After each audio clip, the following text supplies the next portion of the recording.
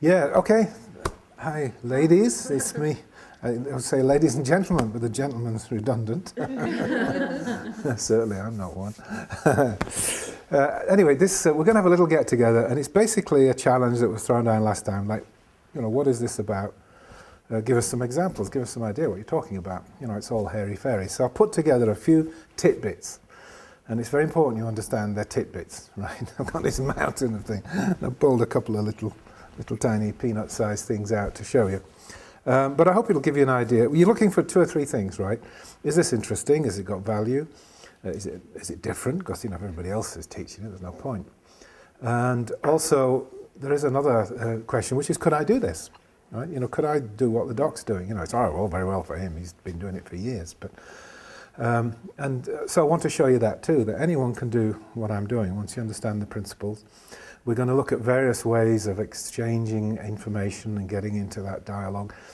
The obvious one is a, a flip chart, you know, where you say, but even, even that you'll see is going to be very interactive. You're going to do most of the construction on the, on the board. We know that being interactive is very important for study and learning. Then we're going to do a special kind of group, interactive group kind of reading thing, which anyone can do in their lounge. You know, you don't need a classroom setting or anything all that's really required is you know everyone sharing a set of the materials. And I came across a pretty uh, interesting way of doing that uh, late in the late 60s. So it goes back a while. Uh, and a couple of other things. Oh, yes, I wanted to show something on Debbie because she was clearly interested in it. Something that you can do with kids, and I can teach you in 20 minutes how to do it half an hour's better, but you know it doesn't need long. Because for one thing, it'll be spinning off the, the, the group reading that we're going to do. So I'll just say, right, there's a slight variation of that, which how. So they will watch while we do it. i am going to pretend you're a six-year-old child, and you can pretend I'm a 66-year-old adult. Uh, so, the, so the first model then is going to be just like doing a talk. But there's one of the things I'd like to share with you last time, we, I think we shared a bit about the emotional ladder last time, didn't we? It's just a, just a sampler, really. But this time, I'm going to talk about what I call the R zones. Now, I've got a feeling I might have mentioned that, or at least how it came about, you know, that I decided it was, it sounded a bit like erogenous zones, so that would interest people. um, but it just means R for responsibility. And it's just a way of breaking up life into slices. Um, and you can, I've got to say, you can slice it up in all kinds of other ways. The question is, what's valuable? You know, you could say, well, let's just consider, right, humankind, and then all other living things, and then the physical universe. But I can't see that's very much use. Um, it, it's certainly true. Or you could divide it into sort of 500 little tiny slices, you know, nephews, nieces, you know, bosses, old bosses, uh, ex-wives, ex-girlfriends. You know, you just divide it into so many slices it becomes meaningless and doesn't help. So I've decided, I've divided mine into 12, okay? And these are what I call my 12 R zones. And I'd like to boast that it will give you a different look on things like sanity, for example. You could use this to define the term sanity, actually, uh, you know, even as a legal term. Or rationality and reason. It has to do with ethics and right and wrong and all kinds of other things can play off this. So, you know, it's quite a big concept if we can work this out. So let's take a look at this together. Right? First thing I want to do is list and talk, and then we're going to try and find visual structures that will work for it, that will make it more interesting.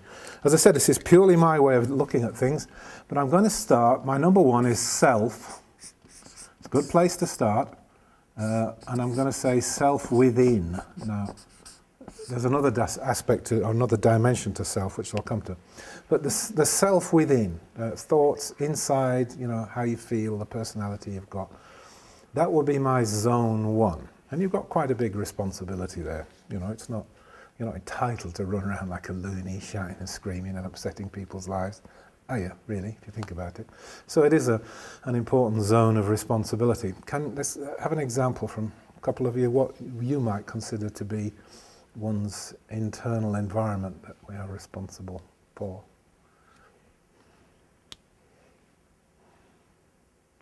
Maybe something like projection of my emotions? Yes, that's true, yeah. Your emotional habits, they very much impact the environment, don't they? And health. Well, health, yeah, that's another one, yeah. If you're in crummy health, people around you obviously usually get drawn into the problem more or less more or less inexorably. Yeah, so those, those are two, two good ones. So that's the sort of world within, the self world within. But what about the self without? You know, the outside world. I separate that out. If, so if self is energy, that the self starts within, it's also without. Yes, that's true. Yes, but the, the, the effect of this will spread outwards. But I'm, I'm focusing on what it is, and in this case, it's your inner, inner environment, your inner feelings. Uh, they, it will spread out through all of the 12. We'll, of course, we will agree on that at the end. but there's this aspect of ourselves that's within, like the car you drive, um, play golf, or you know whatever you do. Any examples for uh, what you're responsible for that's self, but is outside the mind and body? That's what you read, what you, yeah. you watch. Yeah. Well, so, you, so your CDs, your DVDs, your books would be a very good, a very good second environment, wouldn't it? So that's our zone two. Anyone else? Do you have a crack, Viv? Nope. Um, yeah, friends, yeah, yeah, clothes okay. you wear. Uh, clothes you wear is a good one, obvious from you. friends will come a bit later, as we'll see. Uh, yes, okay. So we've got we've got zones one and zone two. Now zone three is going to, I'm, I'm going to use the word sex because it's short, but I really mean romantic partner, you know, that sort of relationship. Let's put romantic. Uh, the, the person that we're deeply involved with on the sort of spiritual love aspect, uh, that, you know, we use words like spouse or partners or, or whatever, uh, boyfriends, girlfriend, you know, the deep commitment part. That's our zone. That's my zone three. Okay, and it, it, clearly exists, whether you inhabit that or not. You know, if you're a monk or a nun, and you don't go there, or you tell people you're not going there, uh, it's still it's, it's, still there, still there as a blank space, right? um, so uh, that's so we, we all know what that is. Okay, we don't really need examples of that. I guess. Is there anything you think that might not qualify? You know, would a so and so qualify or not qualify? Anything puzzling? Even a single person that is visualizing what they want as a romantic or yes. So a sort of empty booth, you're mm-hmm. saying, would, would still count, mm-hmm. even if there's nobody to fill it yet. Mm-hmm. Yeah, good, a good because point. You're filling it with hopes, ideas, and dreams. Yeah. Descriptions of yeah. person. And, yeah. Very good point. Yeah, nobody's ever brought that up. That's good. Alrighty, so number four, I'm going to do the other part of it, uh, family, which is connected with sex, of course. You know, the protoplasm, well, let's call it protoplasm. Um, and this is very important to a lot of cultures. We don't give it perhaps quite as much as we should in the West, but still it shows. Uh, you know, the protoplasm line, so called, you know, like going back through your ancestors and going forward down through the kids and down through ever so many generations. That's, we're responsible for that too. You know, the Jews think seven generations ahead, I'm told. i have never been part of the Jewish faith, but I'm told that's part of their work and belief system. Uh, that's, that's a lot of future, that's a lot of generations, isn't it? To actually try and take care down ever so many generations like that. I think that's pretty good. But also it goes backwards. You know, our ancestors, uh, it's not just cute just to honour an ancestors, they do actually have a tremendous impact on us. If you, uh, anyone know homeopathy or anyone really not know homeopathy? know. Perhaps that would be the better thing, yeah. Okay, it's a healing science developed by a German guy called Hahnemann. And you don't need all the details of it, but it's a natural way of treating things, you know, using like herbs and things. But the big specialty, part of that specialty is you use mimics. So if you want to heal a sore throat, you would take a remedy that produces a sore throat. Okay, so like, like cures like was his saying. Well, you don't want to take stuff just to poison yourself and give yourself a lousy sore throat, right? or if you, you know, if you've got heart pain, you don't want to take something that'll make you go uh, and fall over. So what they do is dilute it ever so many times, so it doesn't have the disastrous physical effect, but still has the signal that pushes off the disease. That's as much as you need to know. But what Hahnemann came up with was something called miasms and these have really been probably his biggest discovery. That there's this kind of shadow or pattern that goes down through the generations and it carries disease. It's a sort of disease imprint. The biggest of these he called the Psora, which is spelt like this, spelt with a P. Psora. And Psora, according to Hahnemann, is from the Black Death days. And the Psora, did I, did I use the word miasm yet? Yeah, yeah, okay. So the Psora miasm, uh, we should look that up. I should get all you guys going with dictionary. Find it for me while I'm talking, will you? Um, maybe the smaller one here, that one. no, just find it. I'm saying, saying you need to define it for us. Uh, but that's it's a kind of very hectic disease. Uh, it's got uh, external aspects like you know uh, scaly skin and hot rashes and very you know very unpleasant type of things would tend to come out if you're carrying the psora or the psoriatic miasm. Uh, there's one called Medorrhinum, which is based on gonorrhea, and another one called Luesinum, from the old name of syphilis, which was Leus, L-E-U-S. And that, that produces a different range of illnesses. Um, but, you know, it's, a very, it's, a, it's an imprint that's come down through the generations. Uh, Leus or syphilis arrived in the Western world. They think from America. It's another gift from America, right? uh, but they think about the, you know, pretty well Columbus's time. That probably that's when it was brought back and it ran rampant through European society because there was no, no uh, natural immunity or anything like that. To the point by the 18th, 19th century, it, everyone was terrified of it. I mean, that had a lot more to do with fear of sex and sex outside marriage than anything the church could say. They were all just scared of getting syphilis. It's a pretty horrible way to go. So that seemed to have it in here. Have I spelled it M-I-A-S. Yes, that's what I thought. Okay, don't worry about it. You know, We we have miasma. what does that say? That's just plural. What does it say? Oh, um, vaporous exhilaration, full mobility. Oh, exhalation. No, no, I know what that is. Yeah, don't worry. Okay. That, that's, uh, that's what they thought caused uh, malaria. That's the word they've stumbled across. No, it's not the same as miasma. yeah. I'll get a bigger book. no, it'll, it'll be in there, but let's not bog, let's not bog down. Okay, for, for the moment, I'm your dictionary, right? so that's what a miasm is. Dictionary. So the point, the point is, with your protoplasm line, these miasms come down, and you pass them on too. And I was just talking with Anita very briefly just before we came in, but uh, there's a uh, an event called the Dutch Famine Winter. Took place at the end of World War One in Europe, 1944. It was very desperate. The Nazis hadn't pulled back. There was no food. Everything was collapsing, and the Dutch people were literally starving. And uh, they were eating like tulip bulbs and dandelions and anything they could find. You know, they were practically chewing soil to stay alive. And a lot of people died. You know, tens of thousands died. The impact of that effect ca- carried on through two or three generations. It's come out in the in the grandchildren of that particular group of people.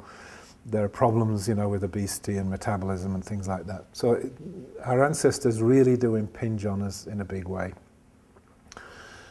And since, since I've got the group I've got, which is small, and I know you're okay, I'll tell you another aspect of that, which is what we, which is what we call yeah. I'm going. I'm, I'm going to introduce another thing that you will meet if you stick with me through cryonetics and over the years. The genetic being. Now, it's actually a being that thinks, and you can talk to it. It will read on that meter just the same as you would as a psychological being. Uh, and it carries memories, it carries past lives, for example. Now, past lives are not so obvious. If you think, let's, let's, let's suppose we all believe in past lives, right? Uh, and I'm not even going to ask if we all do. But it's, we're talking about the spirit, okay? So it may have been this lifetime, maybe a male, a doctor, but you know, another lifetime was a young girl and died young, and then another lifetime was a, a Roman emperor. And so it's clearly the spirit is jumping around, right? But when this gets really interesting and gets really good, uh, you'll find that also the genetic being behaves in the same way, except that it doesn't jump the protoplasm. You know, if you've got a memory from your great, great, great, great, great, great something or other, it's in your protoplasm line, and that comes down as a memory. Um, I was I, I encountered this in the early 60s on a different route, but you, do you know Stanislav Grof? Okay, guy at Stanford. Um, he, he discovered some amazing things, but he was giving people LSD and, and testing what happened. This was in the days when he could, before, before Timothy Leary screwed it all up for everybody. Other than reading this in the book, reading that information in the book, Yeah. I haven't been Right. Well, he, uh, long story short, he found that he could recover mother's memories and grandmother's memories Mhm. from people who were under LSD. And of course, they, you know, they checked it. There were things the person couldn't possibly have known. It was, you know, 20 years before they were born, when mother was a child. But mother was able to confirm the memories very vividly. So this is the kind of territory that we went to. Very, very fascinating. And there is a genetic being which makes this protoplasm line much stronger than you think. The you know, So North the- American Indians so are the right. memory or history from the genetic being is connected, but not always the same memories as the protoplasm in the family? Hardly connected.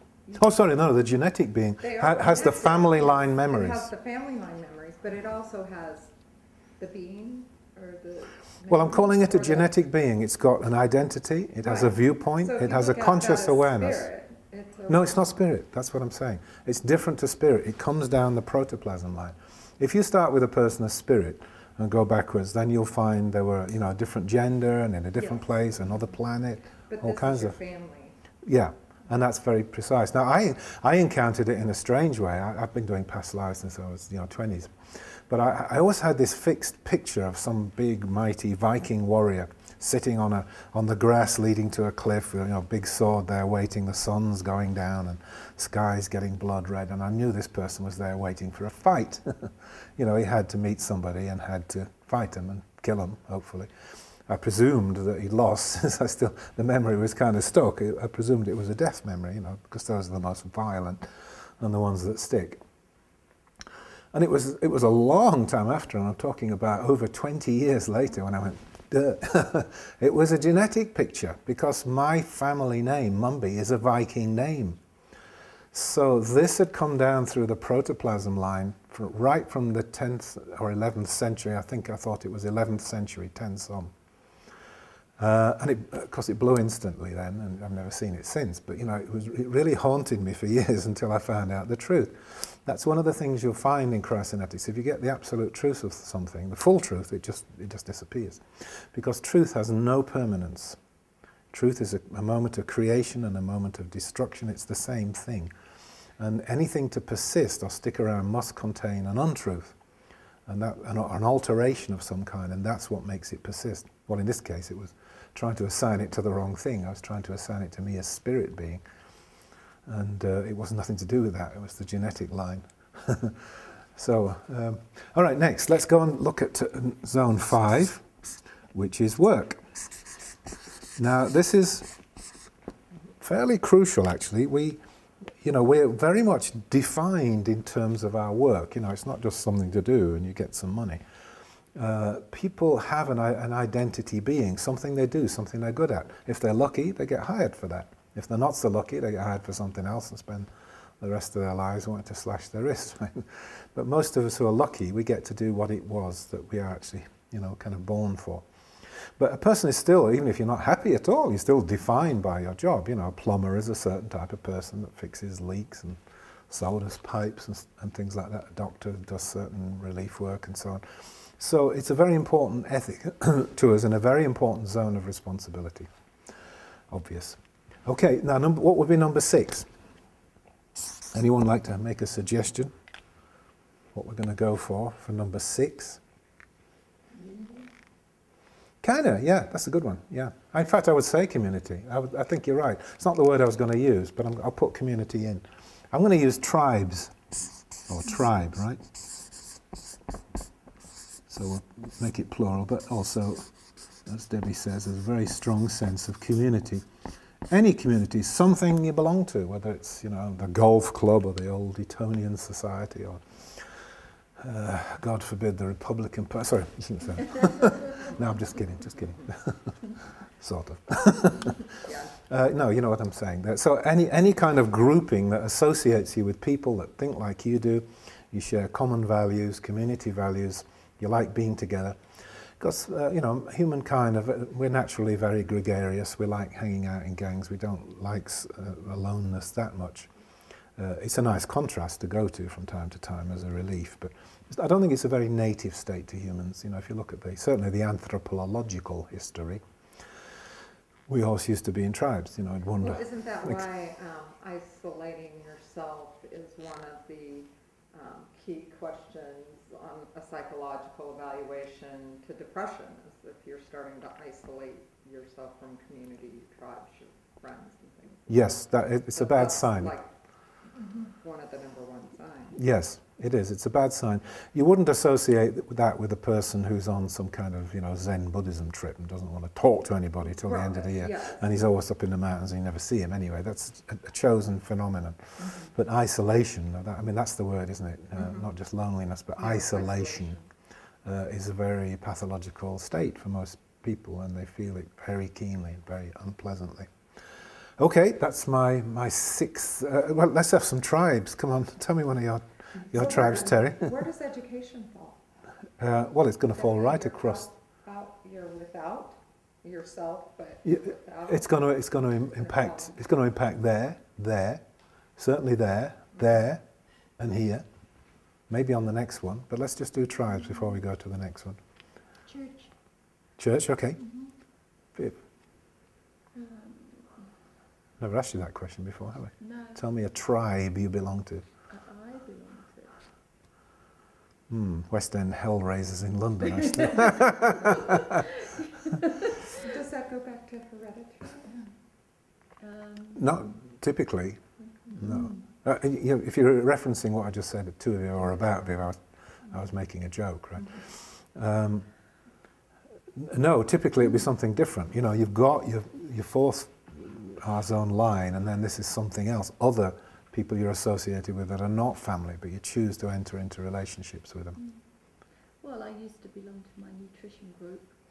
Yes, that's true. The We ION. much a clicky lot because we all believed in what we were doing. So we spent weekends together and went to any, anything we could. So that was sort of a, a tribe of people that were trying to learn something to better their health. Yeah, good example. Anita. Oh, Univera. Yes, good. No, Yeah. any type of uh, any marketing type group, of Relationship or marketing group. right? Yeah. So you can I've, have. I've had many, you know, professional Hispanic organization, young professionals, the Latino community organization. I mean, there's many. Right, yeah, anyway, you've got the, the concept very clearly. Mhm. Debbie, a tribe you're in, please, or been in. Um, Bunko. What on earth is Good bunko? one. That's a great one. Yeah, We call it Drunko. And we do have trouble. Yeah, bunko's right. It's just a mindless game that you play and you really get together to chat and eat. It's not really about the game. Yeah, But you have twelve core people that are We your core. Yep. And when one misses, you know, you look for a substitute, but Yep. you still have a really 12 strong people. core that go throughout a year together, or We've- years. We've done it, Or yeah. years This together. is like our Yeah. eighth or ninth year together. Very social. Okay. All right, sounds a bit tribal. bunko, eh? Okay. Regina, a, a tribe, sweetheart. sports, Yeah? women in sports, women, women, and more women. okay. That's a, that's a tribe, yes, that's true. okay, what, uh, number seven's almost going to almost going to tell itself, isn't it? What would that be? What's the, the next bigger issue? Global. Global. Yeah, well, let's just say mankind, shall we? Not really sure by me global. We're going to look at aspects of global. Uh, but the whole of the human race, you know, human, just hum, human, human beings, humankind, humankind. Let's let's call it that. Since I'm in a society of ladies, humankind. Uh, but that's a that's a, a responsibility zone, isn't it? I mean, if we if we screw up and that goes, we're all gone. You know, there's, there's no way that we'd survive. Even if uh, you know we were the only ones left, you think, oh, that's great. At least I didn't get wiped out. You wouldn't last long. You wouldn't last more than a couple of years, uh, knowing there was nothing else down the road. So humankind is a very important R zone. Can you see how these are getting kind of bigger and bigger concepts? What will be the next next up? I can't ask for examples of that because there's only one humankind. like Environmental.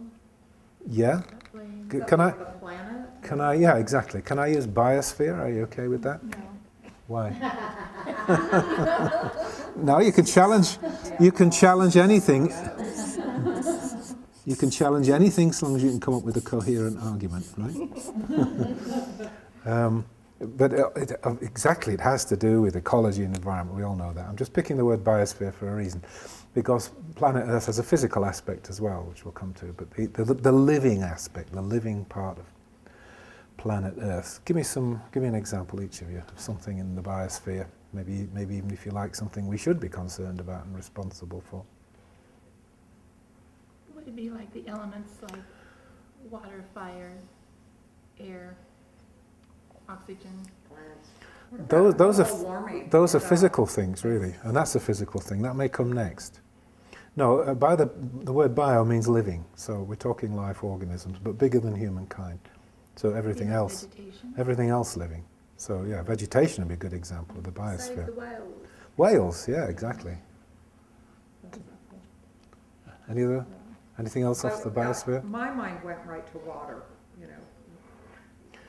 in living- Water, water. As a, is a, as a support for living things. Right, but that might come in the next Okay, zone. Okay. Remember that, and then challenge me if you don't think it comes in the next zone. Right. So, Um, but there is there are certain things about water. Don't uh, you know? I, I will speak to what you said. there's a lot of living, a life in the water, so. Yes. Well, ocean water, you know, is very much alive. It's filled with, isn't it, with squillions of life forms like planktons and and even smaller things. You know, much smaller. So it's it's very much a living environment. So in that sense, you know, the ocean is the, probably the most important part of our biosphere. You could, we could survive. The Earth would survive. Humans and all, all living landforms being wiped out probably wouldn't make much difference as long as the ocean survived. Unfortunately, we're threatening the ocean too. But you know, everything was in the ocean for the first three and a half billion years. you know, it's, it was very, very complete to itself. See, I keep trying to get back to that ocean. Well, we all, interestingly, we, you know, we all carry the original ocean environment within us at exactly the same concentration as it was, you know, hundreds of millions of years ago. The modern ocean is very much more concentrated than that. But our body tissues are thought to reflect the old oceans exactly. So we have a, we have a strong interest in maintaining the ocean environment under our skin. Uh, Well, then how does that work with the people that don't care for the ocean or don't care for the, we're having that conversation earlier. Right. Well, they're they're completely insane. Remember, as, as I said, as I said, as I said, this is going to come. There to, is a definition, insanity and insane. I'm insane as well.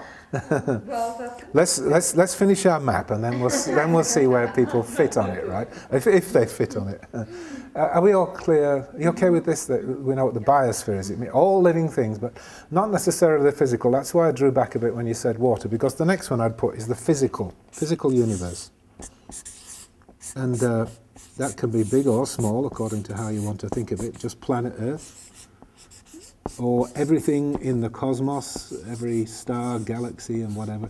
Gosh, it's tricky to write legibly like that. But- number nine. Oh, sorry, that's number nine. Sorry.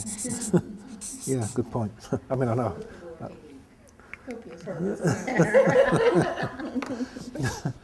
Number nine, okay, for the camera. uh, number nine is the physical universe, all physical things. That would include water, and as you rightly say, it's very supportive of us. Um, and there are, there are elements even to the physical. I mean, uh, Lyall Watson, do you know that writer? I do. He wrote a, some terrific books, but one you may not know is it's called The Private Life of Inanimate Objects. Have you read that? Well, he's talking about consciousness within physical things. It's a very fascinating book, and it goes from computers that switch themselves on and type messages when there's nobody there to considerations. Well, I said they have a life of their own. How many times have I said that? Terry says that daily. Yeah, well, th- there are some. There are one or two very well established and very interesting stories that nobody's ever been able to explain. One of them that, uh, well, he, he does too, but one of them is a, a couple that lived in England. And a computer would, when they went out, would wake itself up, type messages, and when they came back, the message was there. Uh, he signed himself Thomas something, and I, you know, it's like 20 years since I read the book, so I, I can't remember the second name. But this Thomas used a, uh, an old-fashioned computer. I mean, I'm going back to the days of Atari and BBC computers and things. Uh, but he typed messages. Anyway, long story short, they got really intrigued that there was actually some being in this object and took notes and uh, they were able to actually track down a person who, fit, you know, who fitted the description he gave of himself that lived in that cottage centuries before they'd ever been there. So, you know, it is possible for conscious entities to inhabit physical things. But he goes a little bit further and he's thinking in terms of actual physical things that have some kind of consciousness. I mean, you might, you've all been to Death Valley. Have you all seen the Walking Stones? I mean, you might ask what the is going on there because nobody has any physical explanation as to how these stones walk about.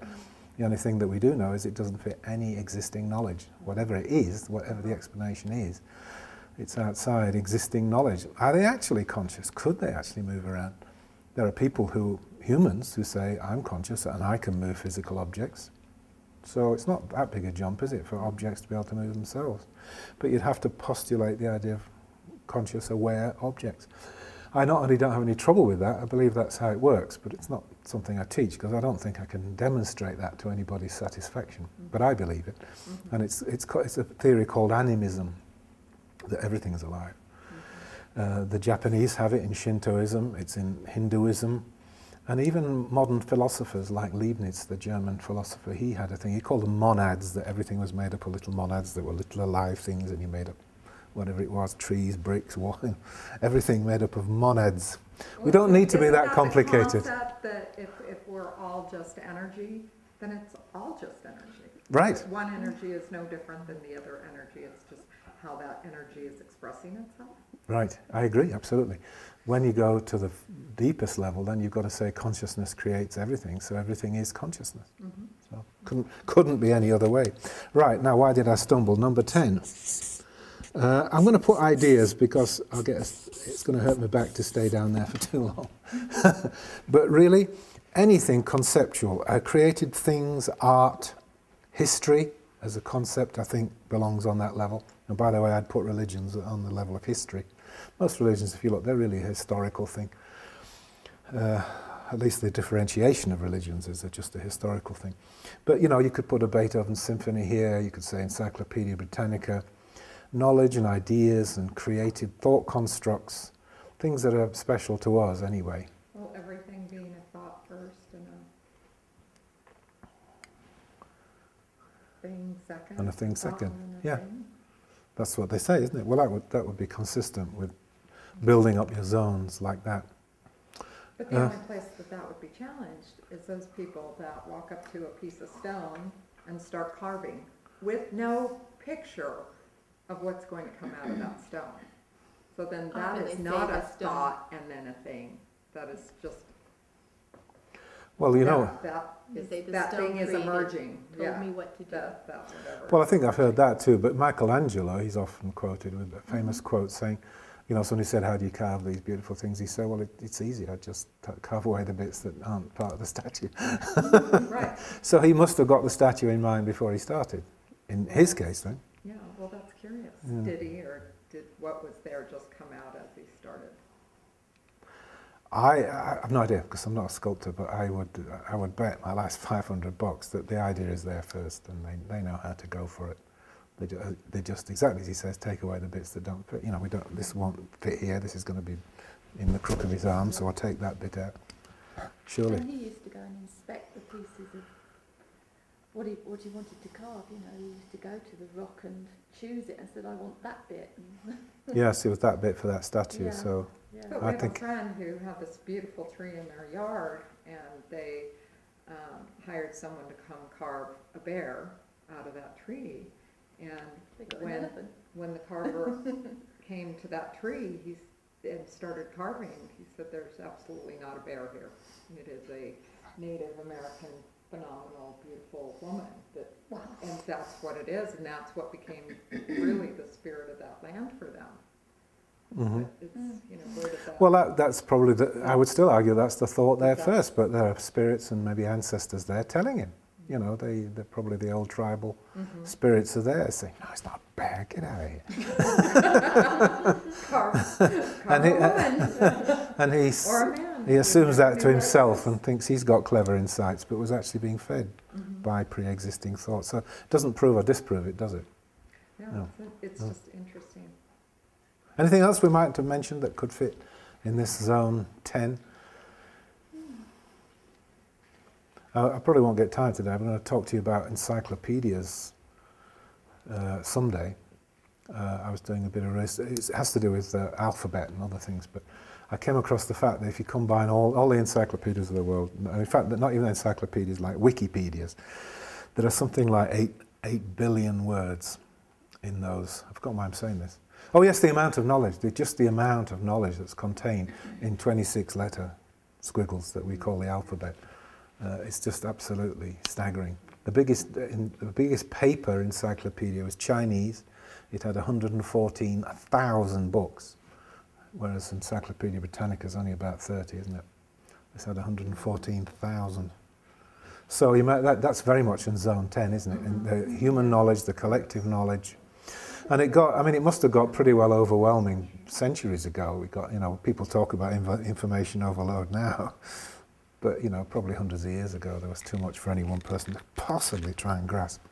All right, so what's number 11 going to be? What should we call that?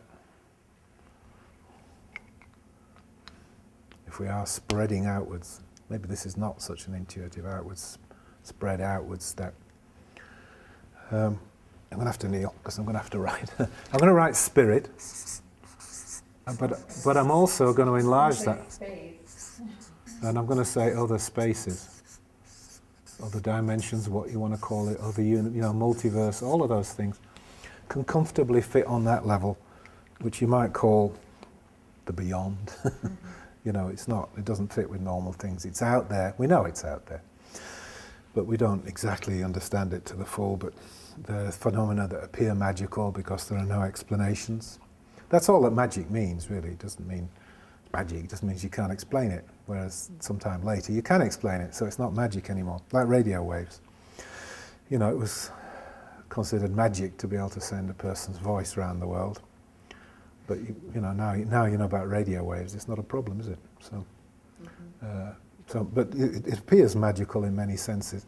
Once you understand additional universes, then you understand strange things where some, like Michael Talbot in his book Holographic Universe, reports on a couple who are walking in the gardens of Tuileries, the palace in uh, Versailles, in Paris, sorry, not um, uh, Tuileries, not in uh, Paris, uh, not in Versailles, it's in Paris.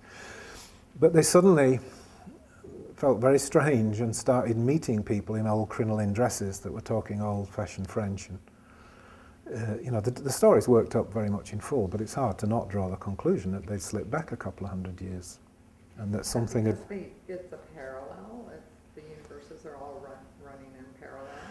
That's a tricky point, right? Uh, you, the, the famous story that everyone knows is the Rupert Ev- Everett's um, multiverse thing, where every few seconds the universe divides. You know, that did happen and it didn't happen, it goes that way, and, and so on. That's not widely accepted, and it's a complicated and very clumsy theory, and probably isn't true, but it might be. But a much more interesting parallel universe theory is one that's absolutely true, there's no question. It comes from mathematics. And you know, they've, they've done the calculations and predicted that without question, there are at least, uh, I think it was 500, uh, um, something to the power of 500 universes.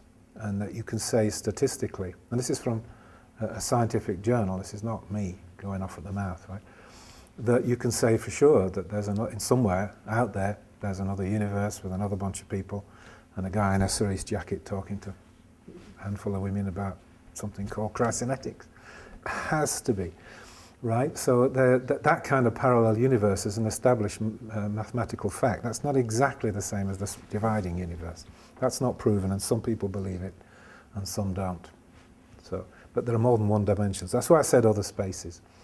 Do you all know what shamanism is? Have you all encountered shamanism? That's a big trip in other spaces. I consider myself a shaman because I've done it enough times to, to know what I'm doing. So, although I don't heal that way and I haven't got a shingle, you know, I have gone off into other dimensions and done the odd things.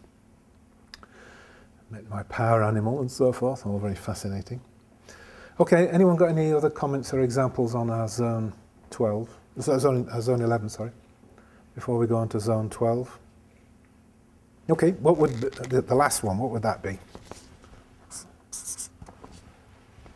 Any guess? Well, not any guesses. You choose what to put on 12. You choose, and I'll, I'll tell you if I agree at the end. Except Viv can't vote. She knows what it is. well, she knows what mine is. What would you So put we here? already covered universes under other spaces, or anything? Yeah, oh, yeah, beyond other spaces, universe? other, dim- other dimensions, whatever. You know, I just, I just run out of words there. Oh, unknown. Yes, okay, we'll have unknown. Any other votes? No? Nobody want another vote? How would, anyone want to go for God? Not God, like a greater being. it's that- Yeah, well, God, God is the God is the short word. I'm not. I'm not. I, listen, I don't do that. God, God, God as a verb and not a noun, but, Yeah, I don't. I don't believe in a silly old man with a beard that no. you know God- punishes the children he's supposed to love. Uh, so you can call it God, the big thing, the beyond. Uh, well, the beyond is perhaps the wrong word. Infinite uh, being, uh, creator of the universe. Um, Said internet being. And and I was trying to work through that.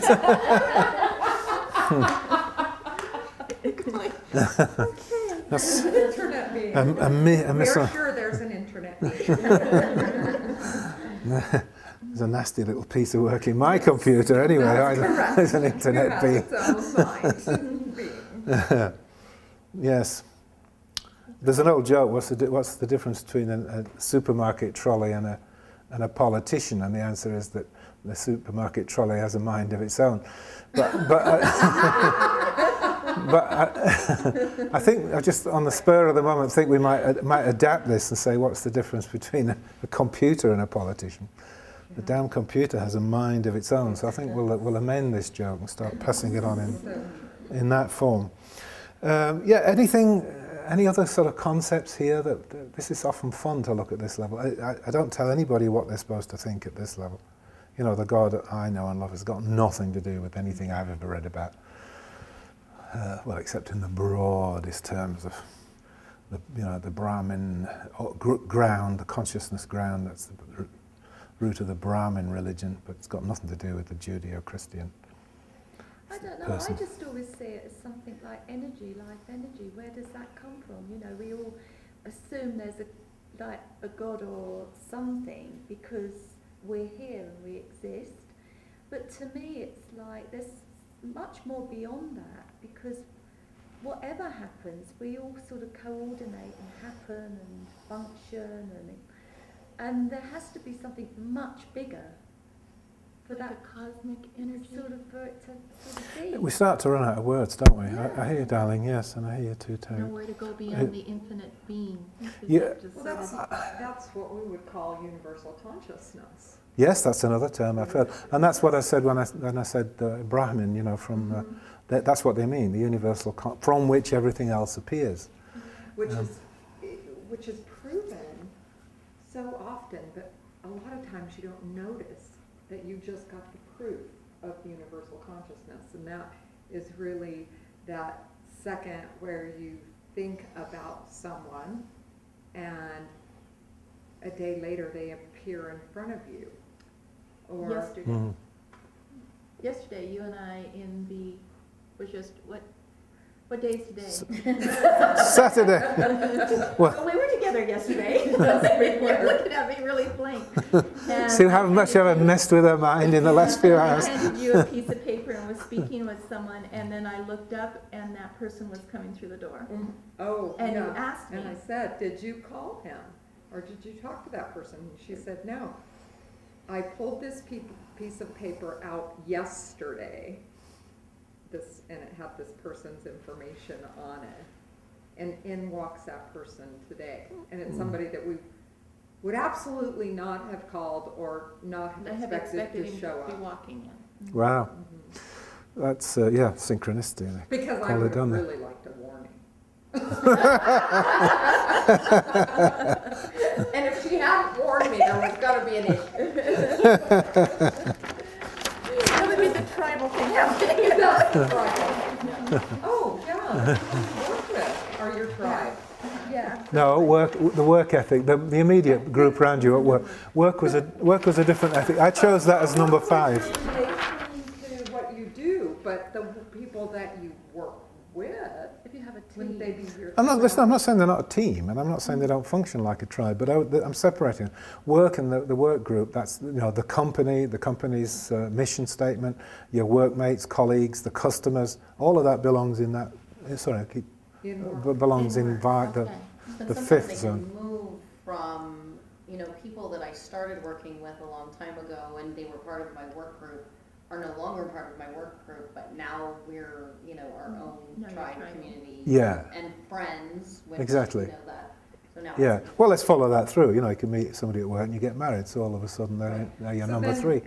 Do friends fall into community? Uh, I think most, most do, don't mm-hmm. they? I mean, we do have friends at work, people we get on with particularly well, mm-hmm. but otherwise they're mostly community associated. If you think, Yeah, going back to what Anita was saying earlier though, with education, where do you, I mean, I sort of feel that that might have been another, another R zone in some ways, because it's such a major part of our life when we're growing up. Well. I'm not arguing. I'm No. just sitting here stunned by your incisive uh, brilliance here, Danny. you, you could, you could take. it's on camera. Yeah, yeah I could take this sort of. Well, I don't know. I, I started to think to myself, am I just being lazy, saying no, it fits all of it, or is it really a separate zone? I think Well, you might be right. I think it could be a separate zone because so many of us identify ourselves, our inner selves, with our Mm. education or lack of education.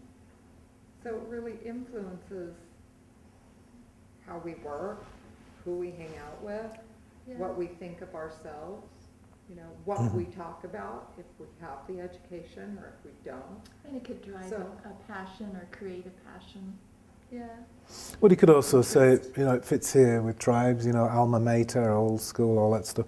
And you can also, it fits here with ideas and libraries, encyclopedias, Yeah. knowledge learning.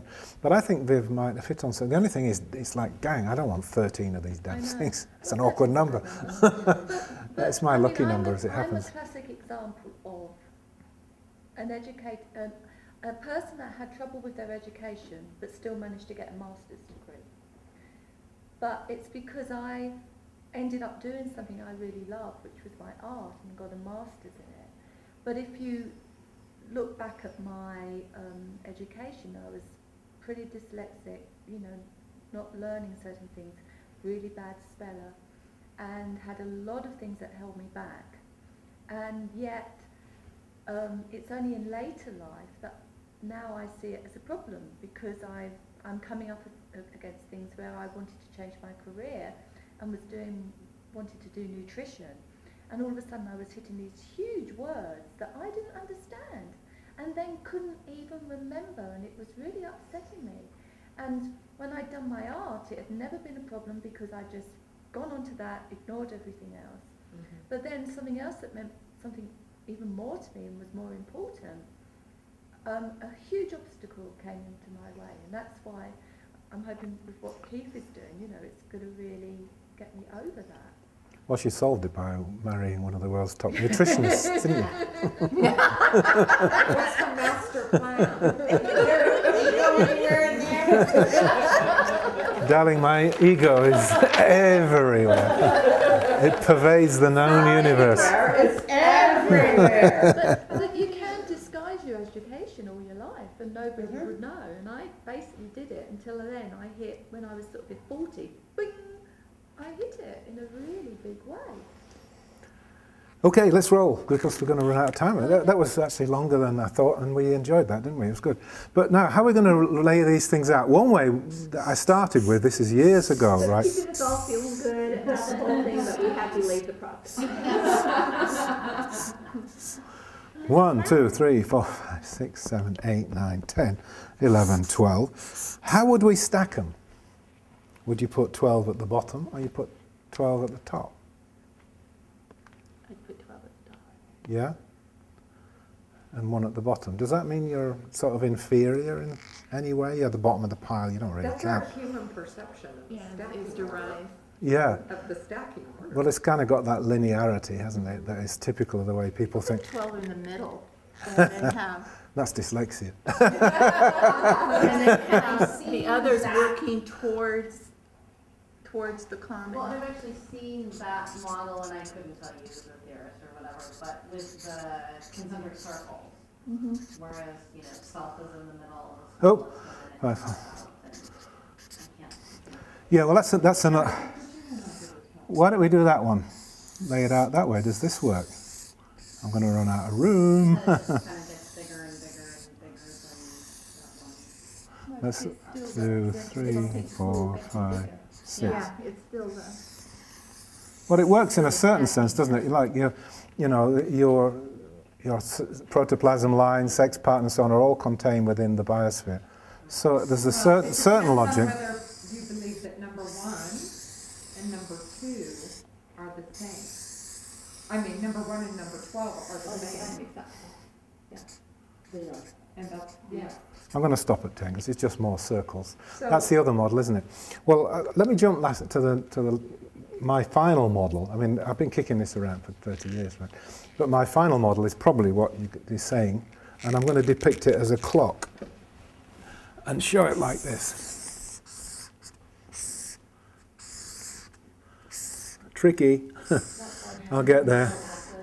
Right, one, two, three, four, five, six, seven, eight, nine, ten, eleven, twelve, and here's the mark that cements it all. Right? Wouldn't that work? That the 12 li- creates your 1 and leads to your 1. It actually creates your 1. Does anyone agree with that idea? Is this the 12 hour zone? Yes, yes. I've, I've laid them out like that. Laid them out as concentric circles. What about laying them as a wheel? So, Yeah, they, yeah. The greatest, almighty, everything, universal consciousness, whatever you want, is actually the source of our one. And I can't actually see it any other way. Yeah. I don't think you can depict that easily with these. That's not to say they're wrong. But I think that actually, as soon as you add the arrow, Uh-huh. that the depicts arrow how I, key, yeah, which you may have noticed. That's why I said when I had this when I had this one mark, it'll all make sense. now, I, I did actually say, uh, you know, quite challengingly. We'll just have a couple of minutes on it. But you know, using these things, you can define sanity and rationality. I mean, to me, anything that conflicts with too many zones. Now, it's not. You can't be perfect. You know, you can't not. Uh, on occasion produce harm in one zone. But if you're going to do something that messes up several of these at once, it's got to be insane. And if you're going to fool around with these, you know, the biosphere and the, the physical and humankind things to the point where that crashes, it's going to wipe out all the lower ones. That's, to me, that's completely insane. It's, uh, I can't think of a. So are you, are you talking about the way you're living, the way you're living, how it affects those zones? If you are not congruent with those zones? Congruence a good word. Congruence and balance are the two. I think I want to write those down for later. But congruence and balance, I would say, are the two good words. You need to balance them all, don't you? I mean, you need to have some. If you So don't, if you're not congruent in a zone, in how you're living daily, that then could become the definition of insanity, or the example of insanity. Well, we'd have to consider degrees of insanity, wouldn't we? I mean, completely insane. You probably, the person's probably completely out of touch and non-contactable. But crazy, nutty, destructive behaviour, let's say, you can interpret on these zones, can't you? Um, if I mean, Which destroys the responsibility. yeah, I mean, if, I don't suppose I'm, I'm dead set against sort of monks and nuns, but it's a strange life where you specifically rule out two of the most critical R zones that we all share and love and try to make work because they're very precious to us. And they say, oh, to hell with that. Is that a so- solution? That is insane. Yeah, it's not a solution, is it? It's just, oh, no, to hell with it. I don't care. Ignore it.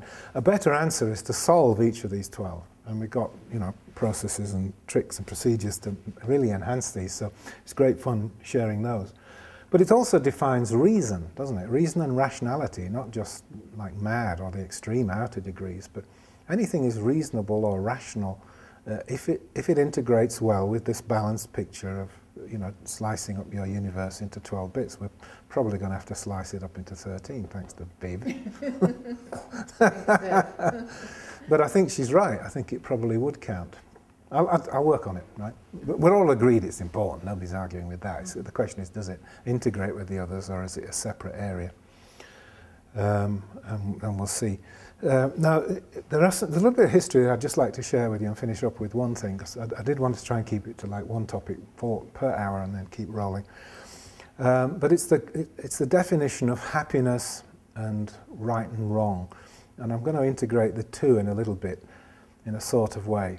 There was a man uh, called John Stuart Mill, who was a British philosopher, and he wrote about what he called the great goodness principle.